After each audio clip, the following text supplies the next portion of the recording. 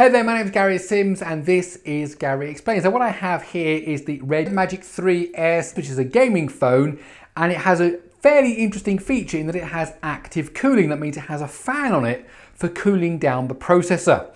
So the question today is this, how does this fan alter the sustained performance of this device? Well, if you want to find out more, please let me explain. Okay, so first of all, let me tell you, I do have a full review of this phone here on the Gary Explains channel. This is an under $500 gaming device with active cooling, a 90 Hz display, and a Snapdragon 855 processor. So if you want to find out about that, then please do check out the video.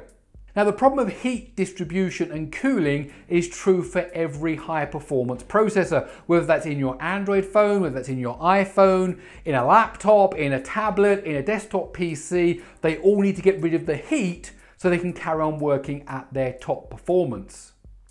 Now, depending on the device, there are different methods. So for example, on a desktop, there'll be a huge big heatsink and a massive fan, maybe even some fans on the side of the cases, all designed to get rid of that heat as quick as possible. On a smartphone, traditionally it's done with passive cooling. That's just what comes out through the chassis and kind of out into the air.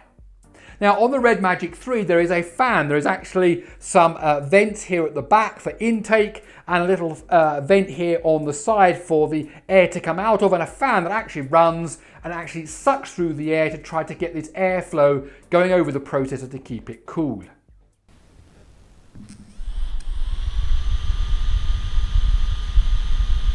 So what I've done to test this is the following. I take the device and I run it through Speed Test G without the fan switched on. Then I turn on a special version of the Unity test that I've got that runs for 30 minutes, non-stop 3D flyover going on, simulating playing a tough 3D game, something let's say like Fortnite or, or PUBG or something like that. And then after 30 minutes, I then run Speed Test G again, again with the fan off. So fan off, 30 minutes with the fan on so that it keeps the device cool while it's doing that hard work and then run speed test G again with the fan off. And so that's what I've done. And what I've got is I've got two videos, one of the speed test G running at the beginning before the heavy workload and one with speed test G running at the end after the heavy workload. And then we're going to put them side by side to see what is the difference in the performance. Okay, so ready? Let's go. Okay, we have the Red Magic 3S, which is running from Cool.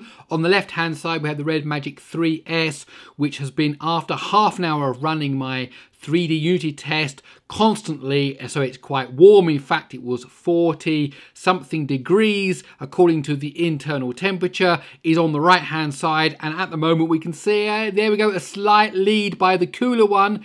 Now this is to be expected, but the real question is how much is there going to be a difference between the cool one and the warm one as we're now into the compression test and we can see the cooler one now is building up that lead. It's gone into the 16 thread test and it's doing quite well through that 16 thread test. Almost halfway through that 16 thread test as the warmer one, the hotter one, has now gone into there. Is that running slower? It's difficult to tell at this point, but the one on the left-hand side has now finished that. It's now into the mixed CPU, GPU section of the test as it goes through the blur test. And only now, only now is it finishing the uh, 16 thread test on the right-hand side. It's now into the blur test as the cooler one has gone into the infinity scrolling list. Of course, after this comes the uh, smoke particle test. This will give us a frame rate. It'll be interesting to see what the different frame rates are between these two devices. What's it going to be on the left? 19 frames a second there, 20 frames a second. As that now goes into Unity test, what we're going to see on the right hand side, it's now into the smoke particle test. And we'll see what its frame rate is now. Is it going to be different? 20? Oh, 20, 20 the same. So that's good. That's a good sign. But however, the lead is significant on the left hand side. It's really gone through this Unity test. It's going to go right now to the end of that valley. And that's it. It will be the end of its run. Here we go. There's the final time. 1 minute 33.7. And now we're just waiting a few more extra moments as the hotter one goes round, turns round, comes into that valley. What's its final time going to be? This is, come on, come on, this is taking longer than I won't want. Come on, what's it going to be? There we go, 1 minute 48.2. Okay, so that is a 14 and something second difference. So let's break down the scores and see exactly what happened.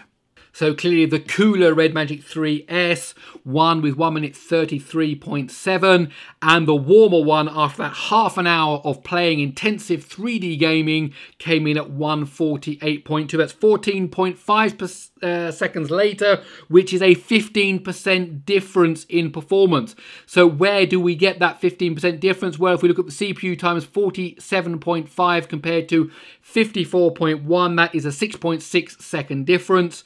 And then when we get to the mixed CPU GPU, starting with that blur test, 25.6 compared to 30.7, another 5.1 seconds added on there, so 6.6 seconds difference, 5.1 seconds difference, and then finally in that Unity test again, which is basically the test that they were that the hot one was running for all that half an hour, we get 20.6 versus 23.5, which is a 2.9, almost 3 second difference. And when you add up all of those uh, differences there, you get that difference of 133.7 to 148.2. So I must confess that was not the result I was expecting. Now I have conducted this test three separate times in different ways the phone standing so there's optimal airflow sometimes laying down on that blue plastic that you see sometimes standing just up straight so there's air going all the way around it and I've tried it three different times and these is actually the same result that I get every single time within just a few fractions of a second. So basically what we learn from this is that when it's under heavy, heavy load, the fan does not actually help in bringing down that, uh, that uh, temperature. However, my feeling is that if it was under slightly less load, it would actually have a greater effect. But in this test, it didn't actually do uh, much of a difference. In fact, we get a 15% drop of performance on the other Android phone, the Xiaomi Mi 9T Pro that I've tested, and that video is also on the channel. And also we see a 15% drop in performance on the iPhone 11 Pro Max. So 15% seems to be a fairly uh, consistent number across now three different devices, three different manufacturers, three different ways of cooling, three different everything, actually 15% drop in performance. Okay, my name is Gary Sims. This is Gary Explains. I really hope you enjoyed this video. If you did, please do give it a thumbs up. Don't forget to subscribe if you do like these Speed Test G videos. And there's a whole channel, a whole channel with all of those videos over there. Speed Test G. There's also a Twitter account for it, Speed Test underbar G. That's it. I'll see you in the next one.